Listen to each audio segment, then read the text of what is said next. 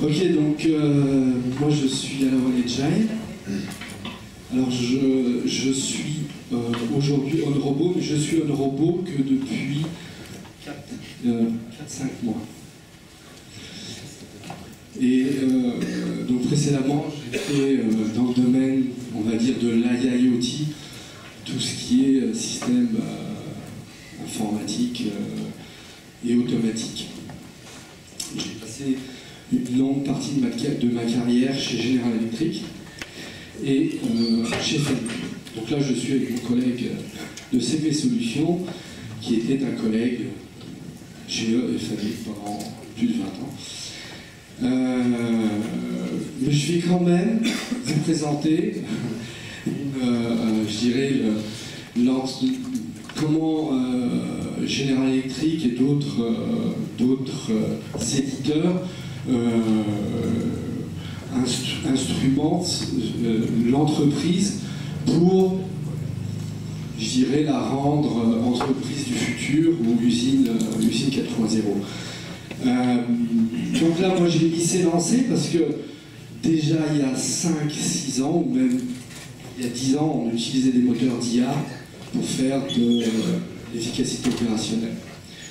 Ce qui a changé aujourd'hui, c'est que on a du cloud, on a des, architectures qui permettent euh, bah, de mieux euh, agréger les données, de mieux euh, rassembler les données et de, les, utiliser avec des moteurs d'intelligence artificielle. Alors, l'entreprise du futur, pour moi, dans l'industrie manufacturière, et pour utiliser un terme, le, terme d'aujourd'hui qui est la disruption, pour nous, ce qui est disruptif, euh, c'est- l'IA.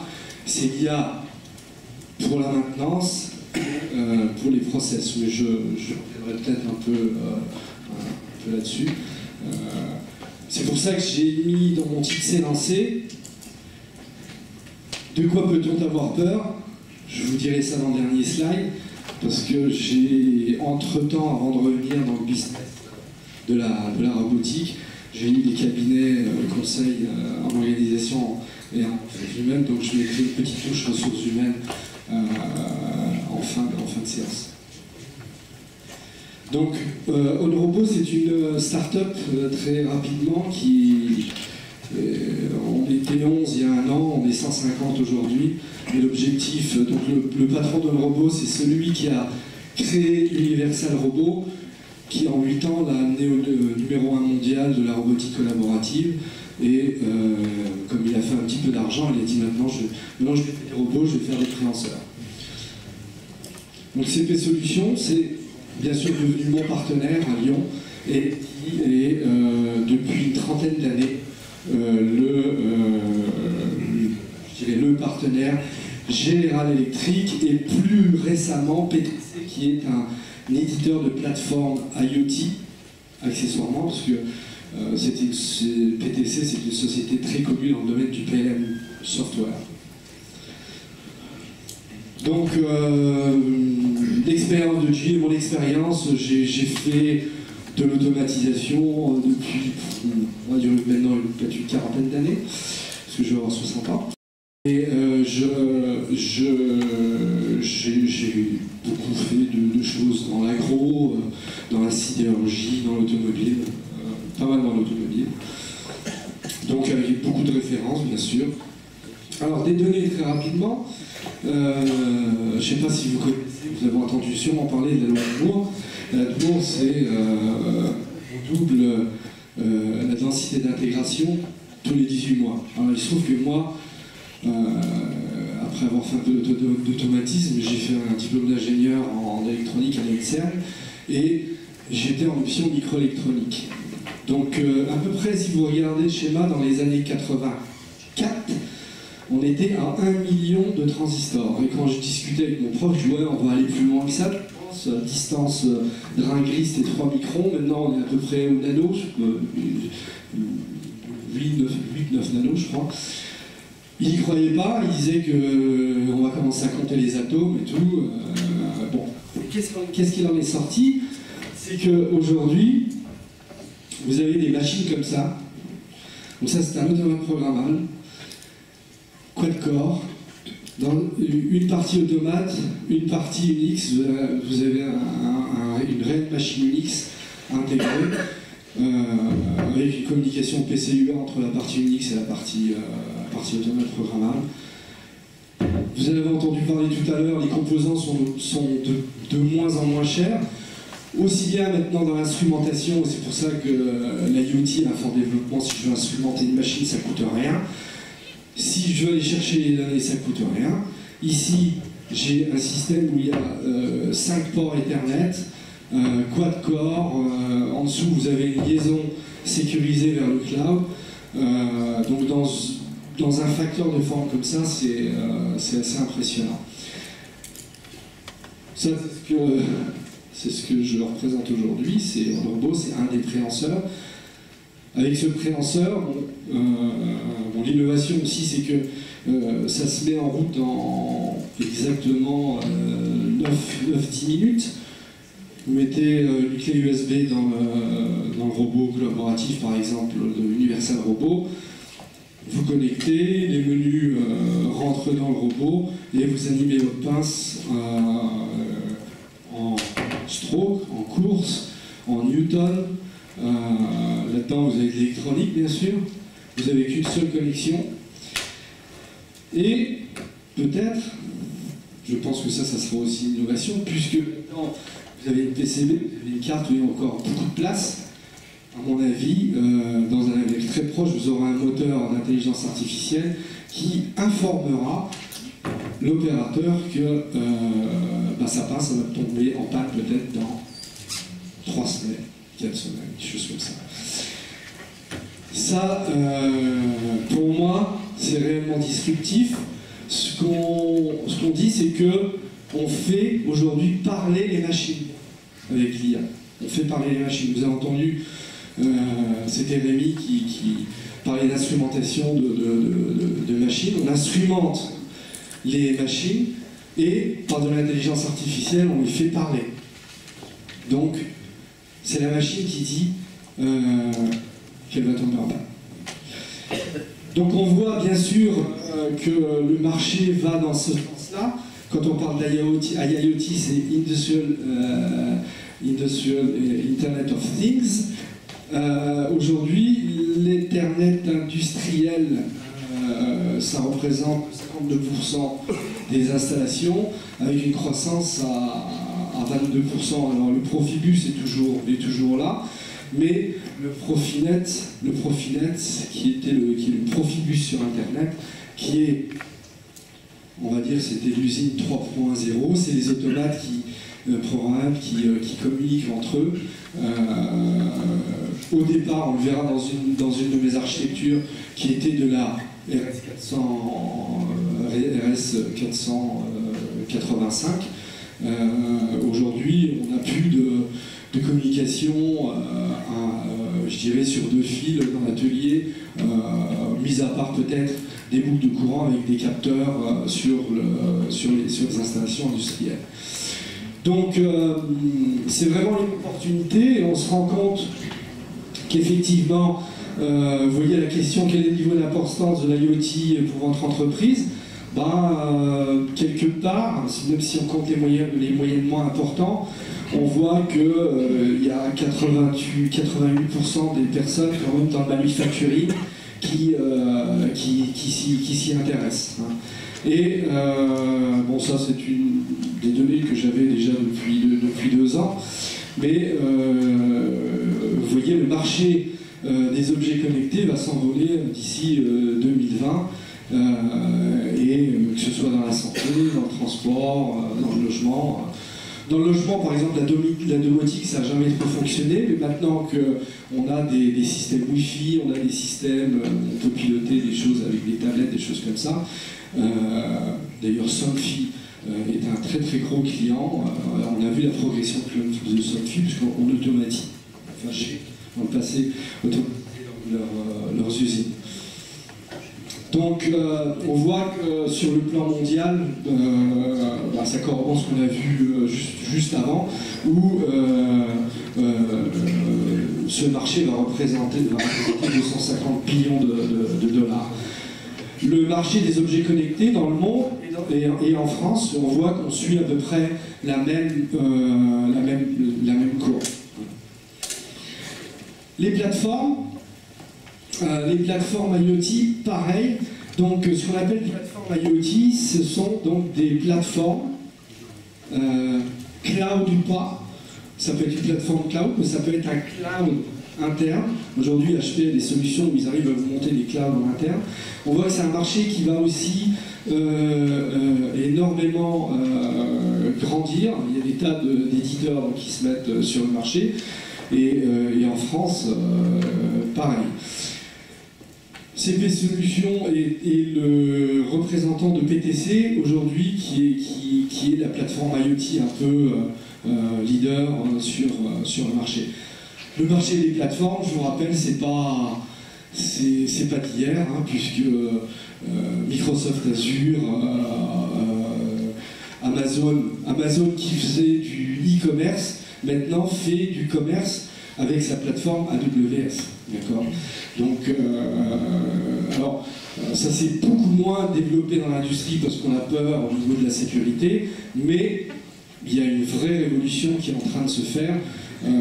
Il y a beaucoup de littérature autour de l'avènement des plateformes, mais euh, vous voyez bien quand vous commandez un, produit sur, euh, euh, sur Amazon, vous avez des retours d'une seconde de ce que vous avez commandé, et des grosses sociétés comme Airbnb ou Uber, qui je ne possèdent rien, aucun asset, sont, sont des, des sociétés qui en 10 ans ont une valorisation bour- boursière équivalente à des sociétés qui, qui, ont mis 150 ans euh, pour valorisation. Donc euh, sur l'évolution euh, des, architectures, quand je dis c'est une réalité, euh, euh, GE, il y a à peu près, je crois que c'était en 2015-16, a, sorti sa plateforme Predix, une plateforme. Bon, Y a eu quelques gros gros soucis euh, sur, sur d'autres choix stratégiques, mais euh, sur la partie digitale, puisqu'ils ont, je pense, 90 ou 95 usines, c'était les premiers utilisateurs de leur propre technologie. Donc, euh, mais euh, là, ils ont, euh, ils ont pris euh, des affaires, euh, notamment euh, il y a, a 3-4 ans avec les, les ascenseurs euh, Schindler, euh, où on va aller chercher toutes les infos de tous les, ascenseurs Schindler euh, dans le monde et on va les instrumenter, on va faire de la maintenance prédictive et pareil, on va faire parler les ascenseurs. D'accord? Et euh, on va aussi, euh, comme euh, les, les éoliennes, on va pouvoir les instrumenter, on va pouvoir faire des jumeaux numériques et on va pouvoir euh, éventuellement déterminer le meilleur réglage d'une d'une éolienne par rapport à une autre, euh, des choses comme ça.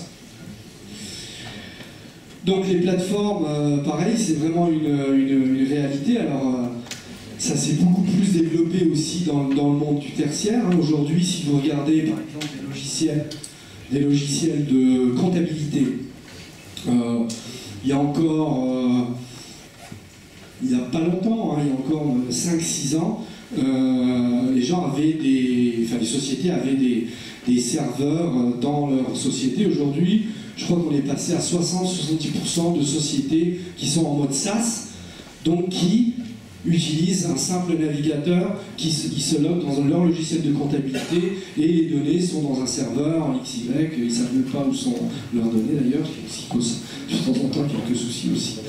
Mais euh, la dynamique du SaaS, Software as Service, euh, elle existe depuis pas mal de temps. Moi j'étais en ressources humaines, je faisais du recrutement. Il y a déjà euh, une dizaine d'années, on avait des logiciels de gestion de candidature, mais je n'avais pas l'infrastructure, j'avais pas l'infrastructure euh, serveur chez moi. J'étais en mode SaaS. il y avait un éditeur qui, avait développé un, logiciel sur une plateforme, plateforme Azure.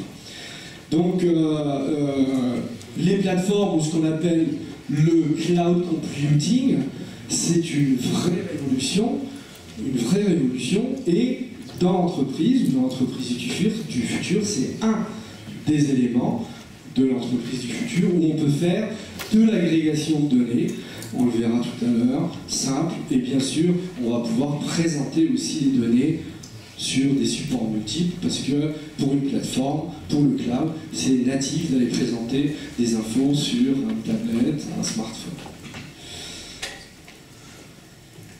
Donc, euh, euh, comme je disais, euh, dans l'automation, pour moi, la disruption, elle est, bien sûr sur, en anglais, ce qu'on appelle le maximize uptime. Ce, qui, est disruptif, alors, aujourd'hui, parce qu'on arrive mieux à rassembler les données, on arrive mieux à agréger les données, euh, mais euh, l'intelligence artificielle, il y a des petites sociétés déjà qui l'ont utilisé des dizaines d'années. Il y a une société qui, qui, a, pas mal de succès, qui est sur Saint-Etienne, qui était une start-up il y a 10 ans, qui s'appelle Cube, euh, qui fait ce que j'appelle moi de l'operating performance management. L'argument, c'est comment, dans une, une, société où je fais du chocolat, comment je vais faire tous les jours du bon chocolat. Donc on va mettre, on va instrumenter euh, notre process et on va regarder, euh, on va donc faire du big data et l'IA, par de l'IA, on va regarder comment euh, les paramètres dérivent et on va pouvoir détecter que si on continue avec ces paramètres process, ben je, vais faire, je vais faire de la mauvaise qualité. Pareil, dans le domaine de la maintenance prédictive, vous avez aussi des petits éditeurs, des petites startups. Euh, il y en a une qui est spécialisée d'ailleurs dans la machine-outil, qui s'appelle SimIoT. Ils viennent, ils instrumentent des machines-outils et ils font de la maintenance prédictive. Pareil, ils font parler les machines et euh, euh, on va, la machine va dire à quel moment elle va, elle va tomber en panne. Pour moi, ça, c'est disruptif dans la mesure où on, arrive à l'instrumenter et on arrive à, le mettre en place du point de vue informatique. Ça, c'est des réels gains. Parce que si, euh, et là on est dans l'entreprise, c'est deux, deux euh, alors bien sûr il y a la réalité augmentée, il y a la fabrication additive, mais ça c'est un élément très intéressant dans l'entreprise du futur. Pourquoi? Parce que si j'arrive à savoir quand ma machine va tomber en panne, eh ben, je vais programmer l'arrêt de ma machine, je vais être à peu près sûr d'avoir la pièce en stock. Euh, et, dans la, euh, pareil, euh, sur l'operating performance management, si j'arrive à détecter que je vais faire un mauvais produit, bah, je, vais, je vais agir de façon proactive et bien sûr, sur mes diagrammes de Pareto, ou sur les OE, comme disent les Anglais, euh, euh, Overall Equipment Efficiency, je vais voir mes diagrammes de Pareto bah, qui vont, euh, qui vont être meilleurs qu'auparavant. Donc, dans, les architectures informatiques, il n'y a, a, pas de grand changement. on, vient mettre juste un système informatique, ou un système, on va mettre un système cloud ou pas, ou un cloud un cloud extérieur, et euh, on va euh, utiliser des modules euh, qu'on appelle APM, Asset Performance Management, pour faire la maintenance prédictive, ou OPM, Operation Performance, Management, pour faire donc de la meilleure qualité process. Alors, CP Solutions qui est, qui, est éditeur de ThingWorks, je, vais vous donner deux, trois éléments. Eux, Pareil, on est, sur le même, euh, le même système ISA 85 euh, qu'auparavant. Eux, ce qu'ils viennent faire, avec leur plateforme, ils vont faire de l'agrégation de données et ils vont se mettre, on le voit sur la partie orange, ils vont mettre leur système, leur plateforme IoT et ils vont pouvoir, donc euh, quand je vais faire du big data, je vais pouvoir rassembler de la data, faire euh, de la maintenance prédictive, faire de l'opération de performance management. Et je vais rassembler, bien sûr, sur des graphiques assez sympas, tous les assets, tous les objets de mon, de mon, de, mon installation. Et je vais pouvoir bah, avoir des infos cruciales, mais aussi qui, vous voyez sur la partie droite, qui vont être distribuées de façon simple et native vers le plan de management, le maintenance management, et bien sûr l'opérateur qui euh, va être du coup, on en parlera encore après, un opérateur augmenté parce que on va euh, lui euh, envoyer des informations cruciales. Donc, en règle générale, on a, une plateforme classique. Hein. ça, c'était la façon dont on, rassemblait les données, on les présentait encore euh, il, y a, euh, encore aujourd'hui d'ailleurs, parce que tout le monde ne, met pas des plateformes. Vous avez le niveau 4 qui est le niveau RP, c'est le niveau où on va récupérer la commande. Euh, et envoyer vers le système de production euh, les ordres de, fabrication. Euh, donc au niveau 3, le MES va récupérer les, ordres de fabrication, il va cadencer ça, il va faire de la traçabilité. Hein, si on est dans l'automobile, il va réagencer, il va pas faire une rouge, une noire, une rouge, il va faire rouge, rouge, noir, des choses comme ça. Donc ça c'est le niveau MES. Et en bas, vous avez le niveau de super, au niveau 0, 1, 2, vous avez le niveau SCADA, c'est Supervisory euh, Control and Data Acquisition, c'est un superviseur, pour faire simple.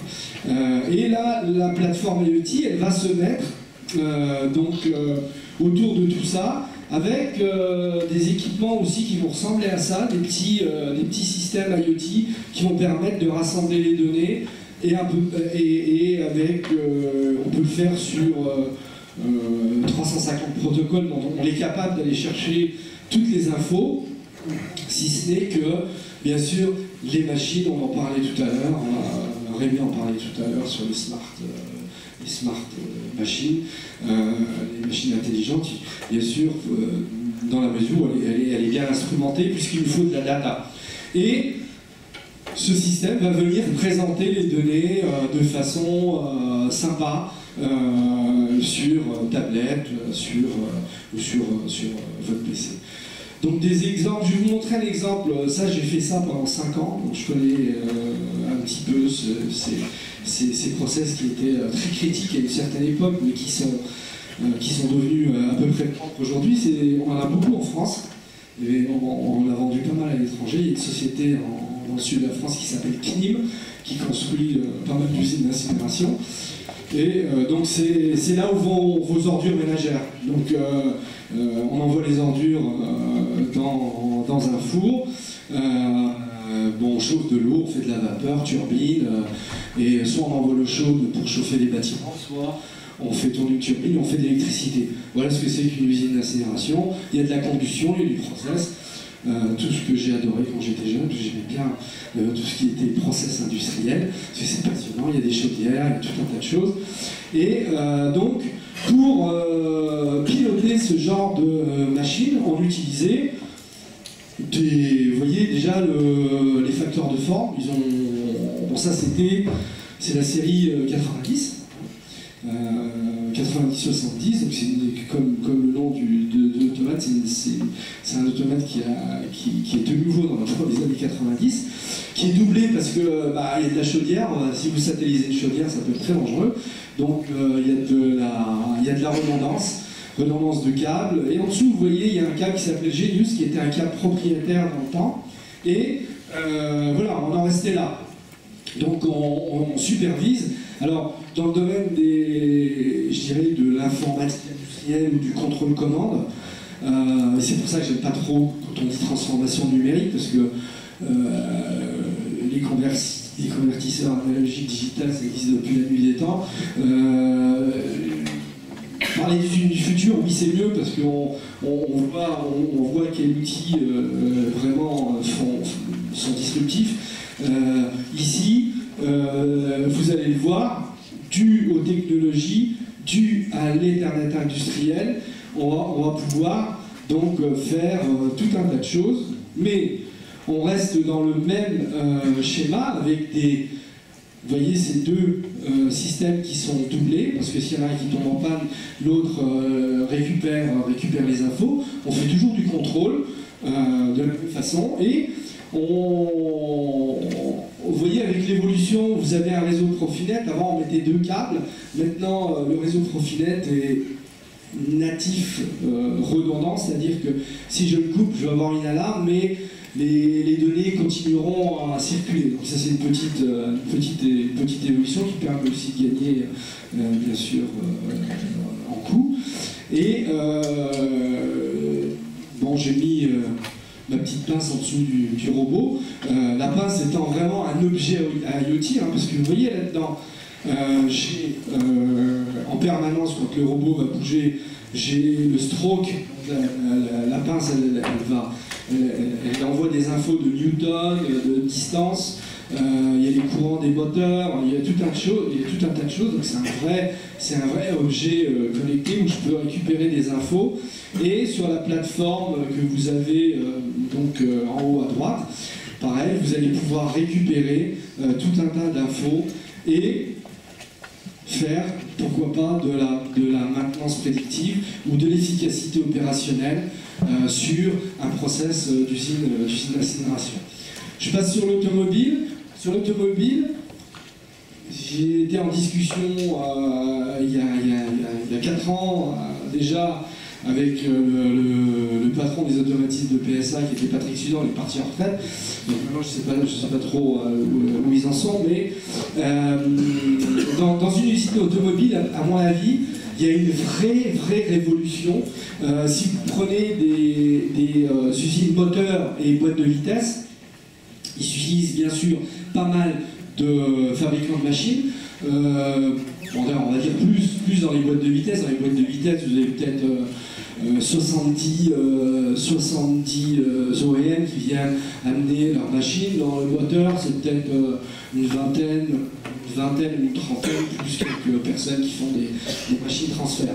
Mais PSA est parti euh, il y a quelques années en disant ouais on en a marre parce que bon, c'était l'avènement des PC, ils n'arrivaient pas euh, à standardiser, parce que dans l'usine automobile, c'est très très important de standardiser les matériels, de standardiser les process, pour pas que, euh, si vous voulez, vous ne pouvez pas amener un automate comme ça dans une usine automobile, on va vous expliquer comment il faut programmer l'automate, de quelle façon, euh, et respecter sur les IHM, respecter tout un tas de, de process. Pourquoi? Parce que, à l'inverse des Japonais, en France, on a on va dire des bacs pro euh, au niveau au pied des, machines, ces gens-là doivent être capables de, piloter une machine, une autre, euh, de remplacer un gars, donc ils ont choisi de standardiser les interfaces.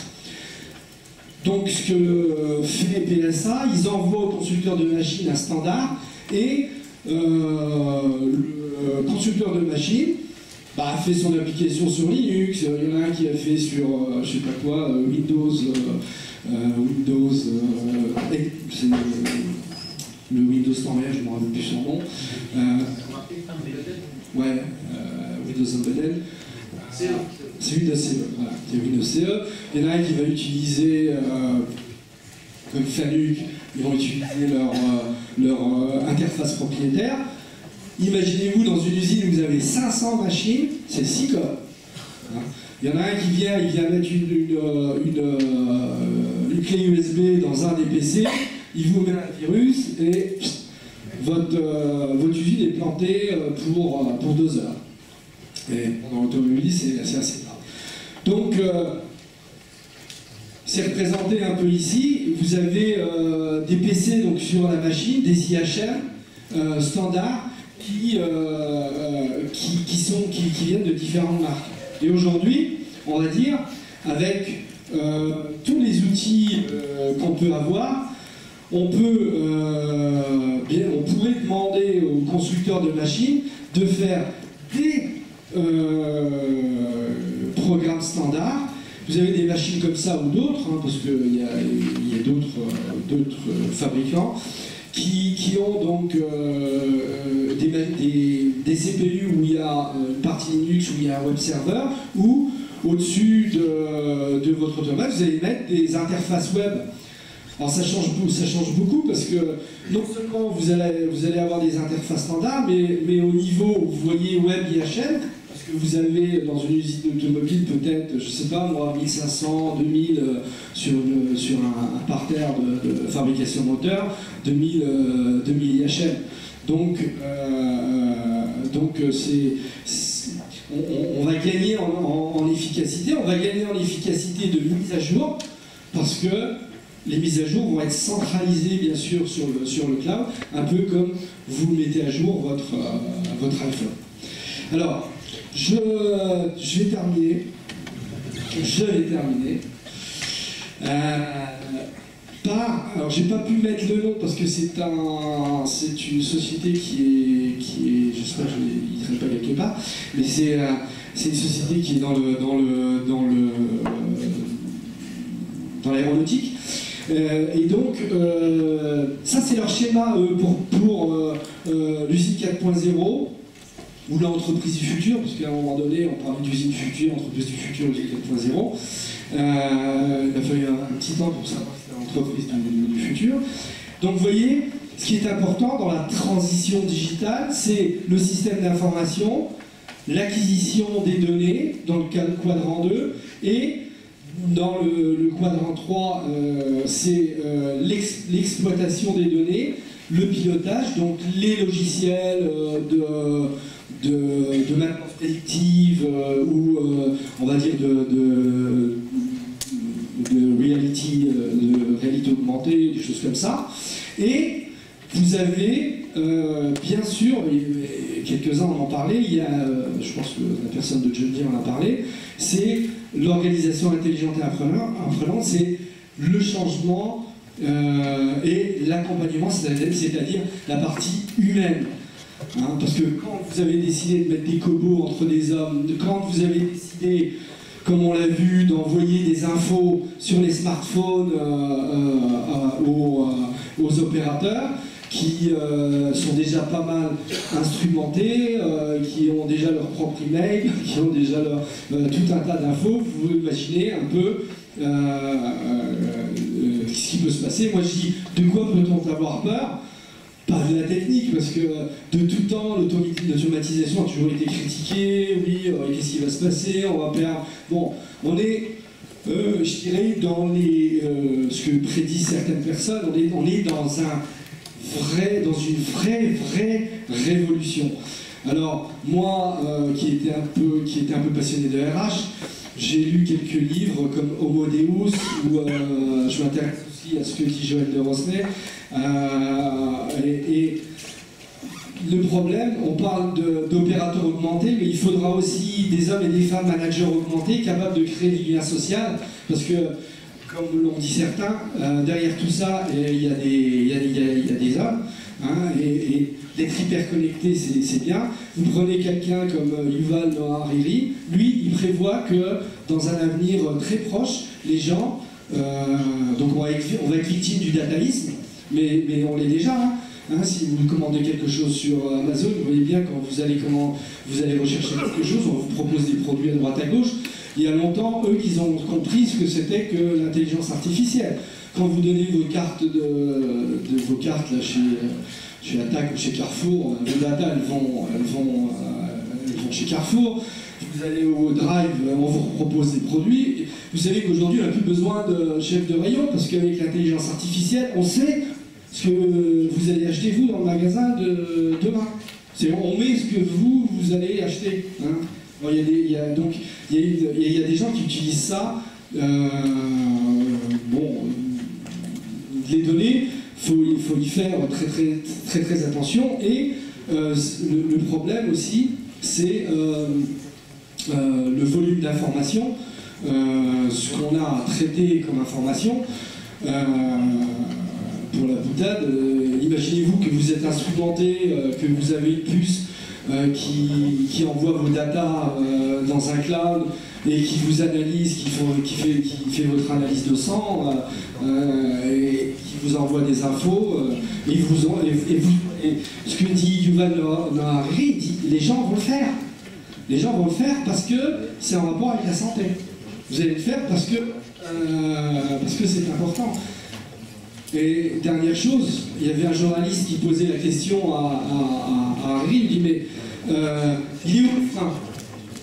Que, Comment on peut freiner tout ça? Il dit ouais, euh, j'ai aimé, il a dit personne ne sait où est le frein. Et c'est vrai qu'on est dans un système qui est basé sur la croissance. L'entreprise du futur, c'est quoi? C'est je fais de l'efficacité opérationnelle, je fais euh, de la maintenance prédictive, pourquoi bah, Pour augmenter mon efficacité en général. Voilà, je vous remercie.